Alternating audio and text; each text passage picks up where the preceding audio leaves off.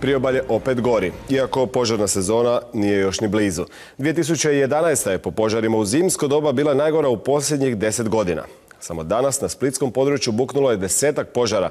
Sumnja se da su većinu izazvali pali kuće. Ivana Franić-Marković. Izgorena mlada borova šuma niti 10 metara od Draganove kuće. Cijelu se noć skupa s vatrogascima borio s vatrom.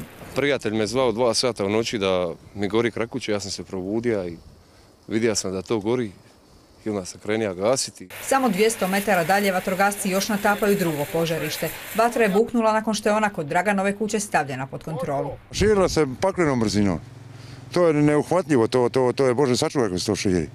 Vidite, noše na vitron. Vidjeli su i žuti automobil kako se udaljava pa sumnjaju da netko podmeće požare. Mogu tvrditi da su požari 75% namjerno podmetnuti. Obrađivanje zemlje u noćnim satima po vjetru, onda znate šta je to.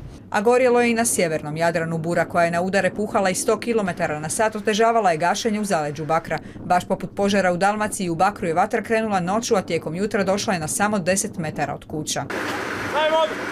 Samo jučer od Istre do Dubrovnika bilo je 18 većih požara. Prema podacima Vatrogasnog središta Državne uprave za zaštitu i spašavanje, od početka godine u Hrvatskoj je bilo više od 1700 požara.